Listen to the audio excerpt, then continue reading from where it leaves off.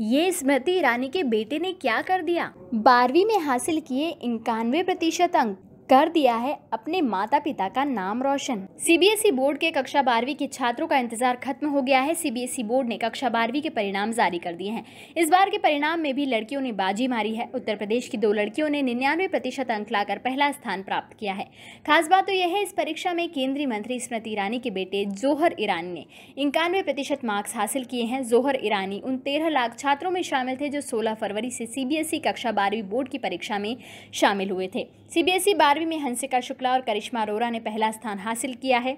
वहीं Hansika Shukla DPS Meerut road Ghaziabad की छात्रा है, जिसने मुजफ्फरनगर से 500 में से चार सौ निन्यानवे मार्क्स हासिल किए हैं। वहीं दूसरे नंबर पर ऋषिकेश उत्तराखंड की गोरांगी चावला है।